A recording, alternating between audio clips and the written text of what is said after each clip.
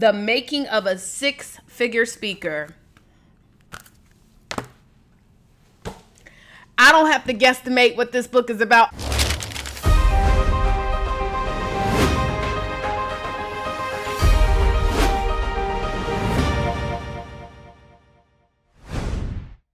What's going on everybody? It's Taria Vision Avant and today we are doing another Wednesday book review. So I'm super excited about this and I've got a special. I'm gonna actually do two book reviews. So I'm gonna do two for the price of one. So what's up CEOs? Real quick, I'm sorry to interrupt the video, but I need to ask you three small favors, okay? Three favors, just three. Go ahead and click on the subscribe button so that you can be a part of this movement that we're doing here. And then also click on this bell so that you can be notified whenever a new video drops. And finally, you wanna go ahead and give us a thumbs up. That would be so awesome. I would appreciate you. So just go ahead and click on the thumbs up and let's get back to the video. Now, if you want me to review your book, all you simply need to do is ship me a copy of your physical book preferably these are the books that I like to review are how-to books, self-help books, information books. That's what we like to review. But if you want me to review it, go ahead and ship me a copy of your book to the address in the comments below. Now, before we get into this, darling, you know I got to introduce myself. Hello. Yes, my name is Taria Vision Avant, and I am the founder and owner of Show Your Success, where we help authors and future authors make money. I believe that everybody in business, regardless what your, whatever your product or your service is, is you should write a book.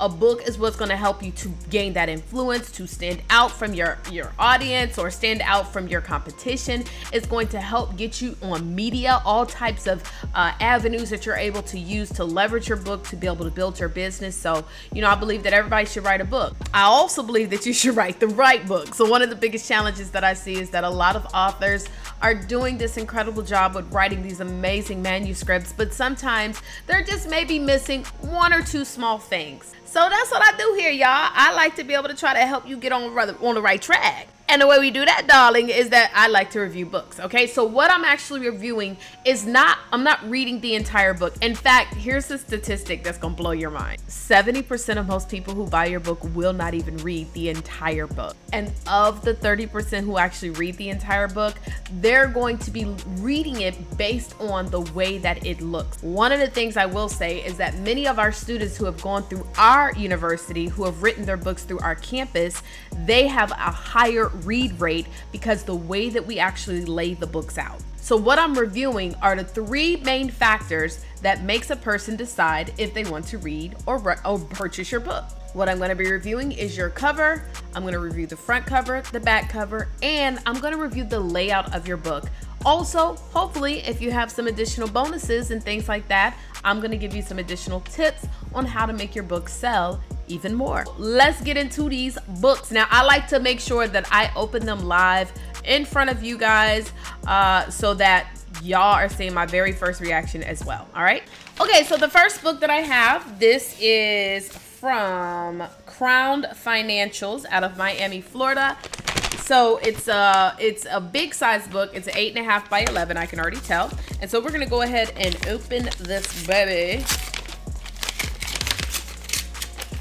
Ooh, it also feels like it is spiral bound. Yes, it is. It is spiral bound. So the first thing is that she has a spiral bound book. Okay, so this is probably like a workbook, I'm assuming, or without me even looking at it, workbook or a manual. All right.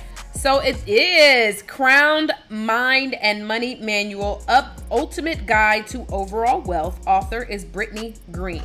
So one thing about manuals is because manuals are a little bit more work based, right? So you're to do work in them. You don't necessarily need to do your um, picture or you know by a lot of times with my workbooks or manuals i don't put like my name on there on the front or whatever because it's really like a working manual.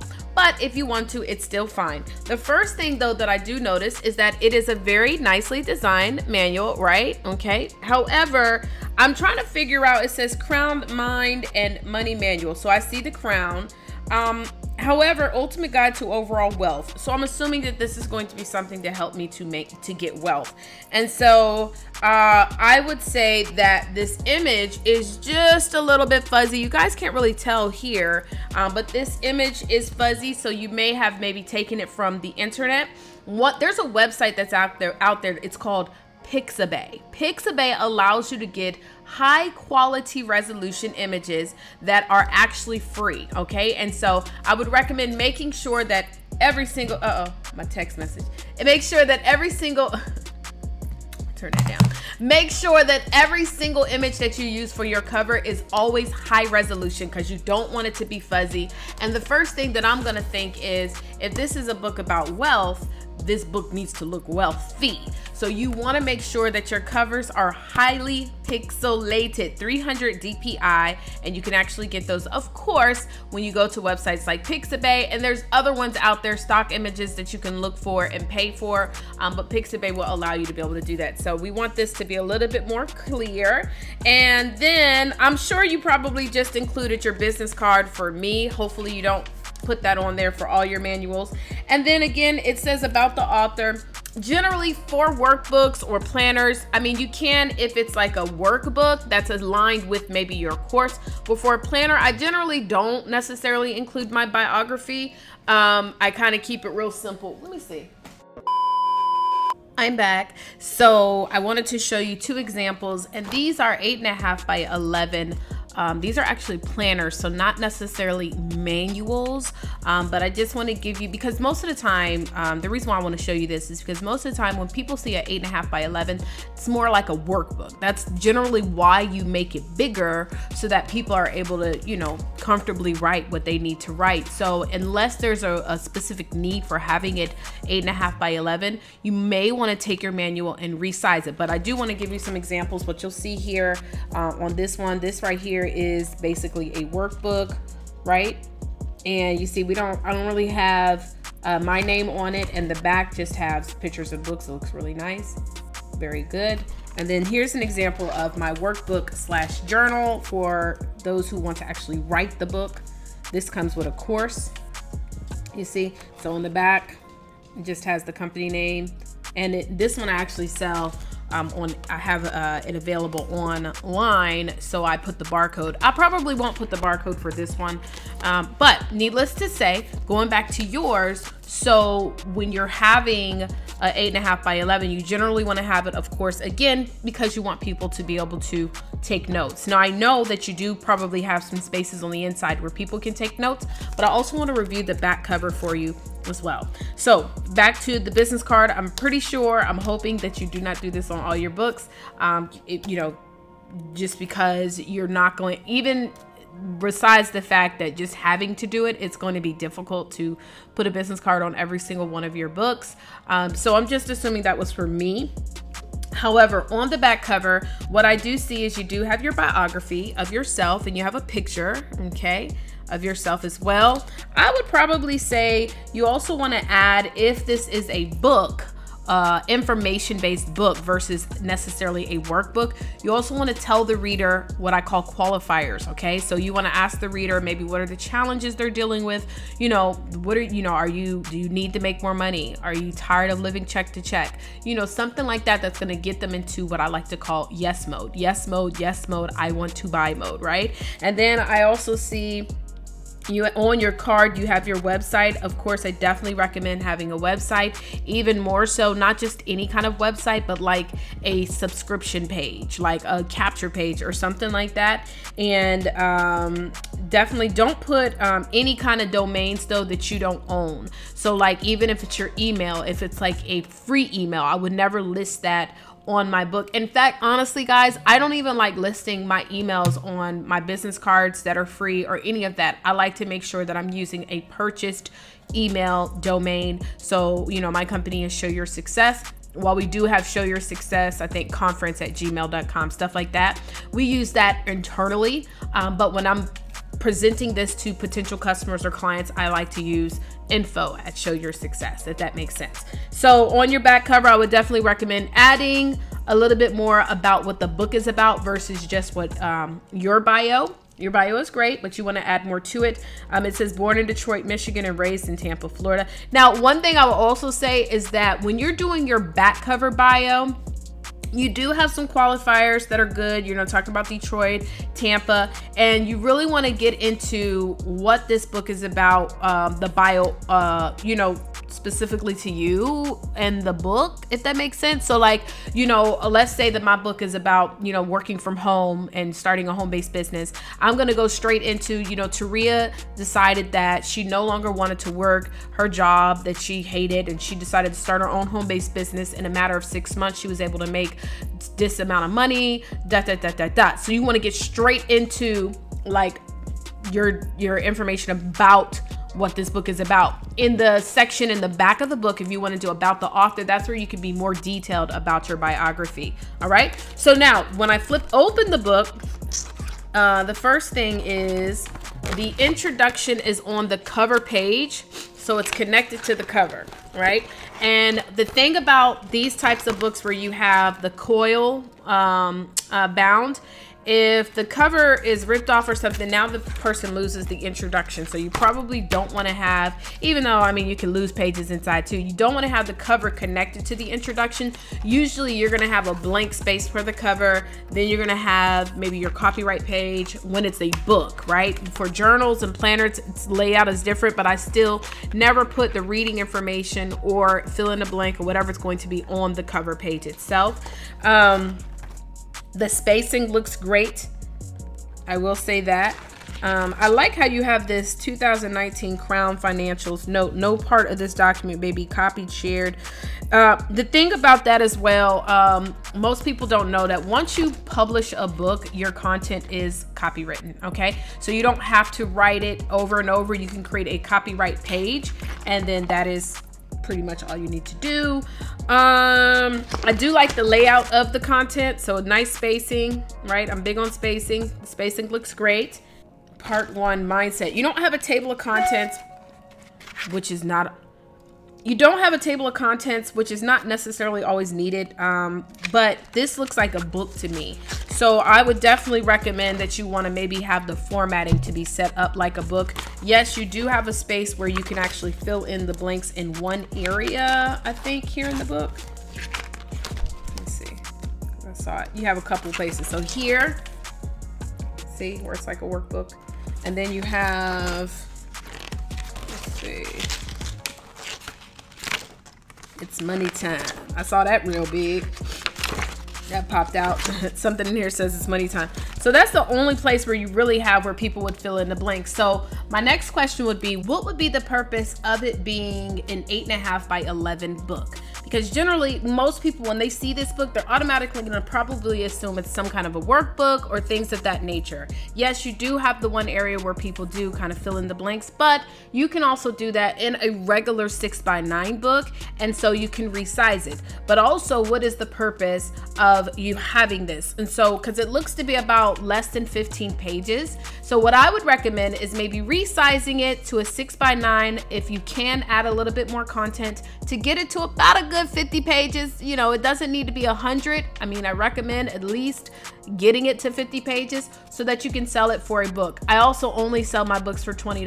I don't care if it's 50, 100, $20, okay? Now, if you cannot get it to that size, then maybe I would recommend making this like a free ebook giveaway or a low ticketed ebook that people can actually print out on their own or just read it from their computer. That way, you're not having to pay any money for printing because it's only a few pages. You're having to pay all this money to print these books. And I know you want to have something tangible, which I always recommend having something in hand. But this right here is something that is just not something I would necessarily spend money on getting printed. Now, another thing you could always do is if you want to make it a little bit thicker, is you can add in some fill in the blank details for it to be like actually like a manual workbook or something like that where people are filling in information so you can add some additional pages to give it some width um, and and some thickness to the book but I would say maybe resize it to six by nine so that you can actually have a little bit more thickness and then maybe add a little bit more content to it. I do like, again, the layout of it. And I really like the way you have it broken down the part two, part mark, part one, those little different things are really cute, really sexy. Hello. And uh, yeah, so that's what I would recommend resizing this book for uh, for print so that it can be a little bit thicker. Um, and then, of course, your back cover, making sure that you have those qualifiers, those yes qualifiers to get that person excited about reading the book. Definitely believe that this is great content just from a browsing through it real quick. It looks like it's going to be an incredible book that you can leverage for your business, whether you're a speaker or a coach. You can definitely leverage this. It's just making sure we have the right book out the gate. All right. So, I hope you enjoyed book number one. Now we're to get into the next book. All right, so let's go ahead and review book number two. So this book comes from Harvest International Ministries and it feels really thick. I think there may be a t-shirt and it feels like it might be two books, like a book and a workbook inside. So let's go ahead and open this baby on up. Let me use my pen. So, uh, of course I could use scissors, but not wanting to get up to go get them. Also, for those of you who want to know, uh, I like to ship my books in a box or definitely something like this type of a packaging, um, bubble wrap, uh, just in case, you know, weather, because, you know, we get rain and stuff like that or snow, whatever, you don't want your books to get damaged. So, you know, plastic wrap like this is always good. Also, you can use um, boxes and wrap your book in plastic wrap. So these are some boxes that I use to ship my books. Looks like this. See? And it's real simple. You just put your book in there, fold it on up, bloop, bloop, bloop, and you can ship. The link to where if you want to get these boxes is down below in the comments as well. All right, well, this is a lot of books. Okay, you gave me a lot. Thank you, darling. Okay, so the first thing, oh, I know this is one of our t-shirt superstars right here. My grind, his glory. I love this t-shirt. My grind, his glory. I'm gonna definitely, let me put this on real quick. Hold up. Ooh, yes, honey. My grind, his glory. Praise him. Yes, hunty. Thank you. Okay, and so we have two books here, and this is one of our superstars um, that's in one of our courses, How to Start Your Own T-Shirt Line, and his name is Rodney Middleton. And so he's provided me with a lot of stuff. Okay, so look, a lot. Hello, yes, darling. Okay, so we have two, what it looks like workbooks, two book books. Okay, so let's get into this. So we're gonna look at the first things. First of all, uh, I definitely see the whole um, branding behind this. Your colors are black and white, and then we have um, a little bit of gold here. Yes. So first of all, Rodney is definitely uh, somebody who's been following me because I could tell just based on the cover of this title, he has been a part of our movement and definitely plugging into the information. Going from overlooked, and I'm assuming that's to overbooked, the making of a six figure speaker. I don't have to guesstimate what this book is about. Automatically know that's what it is. It's about making six figures, and the cover is real simple. It looks very quality. Hello, that's what I'm talking about. Go Rodney. And when you look on the back of it, it also says uh, you're a problem solver. We need to understand that you're not just a public speaker, but a private problem solver. Most wealth is obtained from people who serve other people's problems. And you definitely give us some really good detail. You know, some, um, I always recommend as well on the back cover, you have the bios. One of the things you also want to include is not just the bio about you, but also what's about the book. Why is the reader going to want to read your book? So, what we want to do is when I'm looking at this one, it, it definitely says you're a problem solver and expand your your audience, learn how learning how to close. And then it has a short bio about Rodney, senior pastor, international empowerment speaker, da da da da da. Another thing I would even just maybe add is maybe where you have the um like the the titles of each one of the paragraphs, maybe have those pop out, right? Or maybe say something like, Are you a problem solver? Get people in what I like to call yes mode. Are you a problem solver? Uh, do you want to expand your audience? Do you want to learn how to close when speaking? And so you make it a question, and then you can, you know, have the same bio, and then maybe even make it the same gold so it pops out a little bit on the back cover. That's what I would add. And another thing, just like what um, on our previous book, you want to have your contact information on the back. So not necessarily a business card. You don't want to, because you're not going to be able to attach a business card to all of your books, but you do want to have a website, your social media, because some people may not have purchased the book, but they may see the book and they want to, you know, it may not be their book. So they were going to take a picture real quick so that they can get the details. When I flip on the inside, also the layout of your book is amazing. Looks really, really good. Yes, honey. Your your layout of your font, your text. Also, you have your subtitles. Um, it just it, you gotta be one. Hey, Rodney, are you one of our students? I think you are. Okay, so I know he's our book students. So you see, he has this layout right here. And when you look at it quickly at a glance, it looks so easy to read. And so you're like, oh, this is an easy read to book. I mean, easy book to read. And so definitely kudos to you. I would just say, Rodney, add a little contact information, bold out or change the colors of the beginning of each paragraph and make them questions, qualifier questions, so you get them in yes mode. So this other one says the little black book, how to hire yourself, Rodney Middleton. And okay, so this is the cover real simple.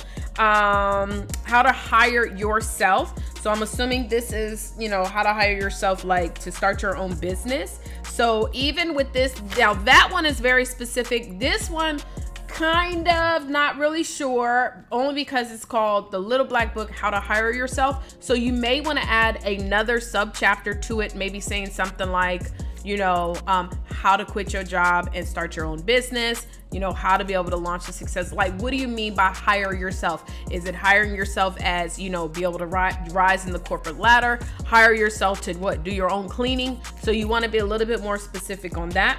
And then um, the back cover, you do have your picture and your bio, but we don't we don't have the same thing like you have on this one where you have qualifier questions. You want to get people when they're looking at the back cover to be in yes mode. So you want to, you know, are you tired of your job? Yes. Do you want to start your own business? Yes. Are you not sure, but you know that you're ready to get started today?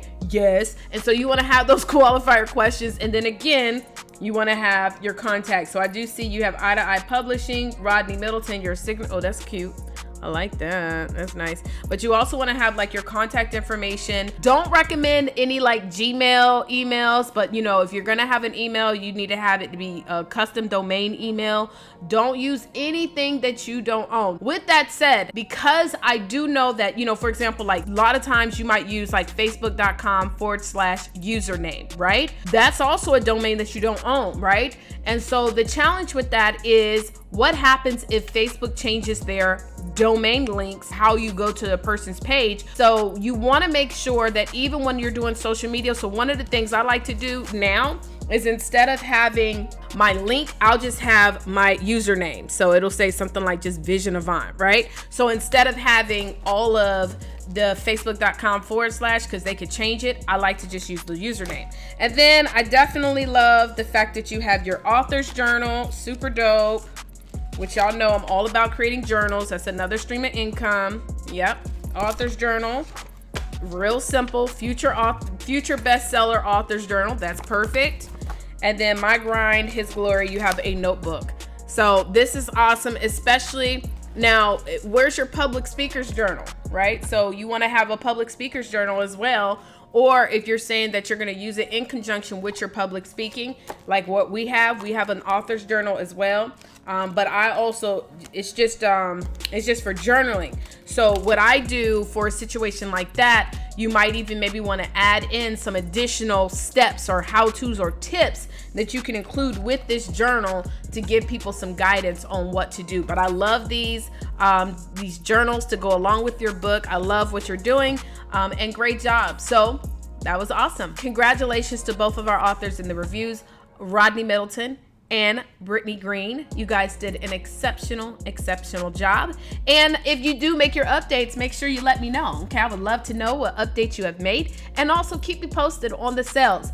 By the way, if you have not registered and you are an author or a future author for the Show Your Success Conference, you need to do so, darling. Go to showyoursuccessconference.com. This is the conference specifically designed for authors, coaches, speakers that are serious about taking their businesses to the next level. You're to learn everything about automating your business, using social media. You're to learn how to develop a talk that's going to make you six figures. You're to learn about also getting your website and your branding, everything that you need so that you can be successful. How to get your speaker sheets printed, how to be able to create the proper speaker sheet, right? And then get it printed. Guys, these are things that you're going to need to know when you're developing your career as an author, speaker, and or coach. All right? So register by going to showyoursuccessconference.com and other than that, my darlings, that is it. All will be well.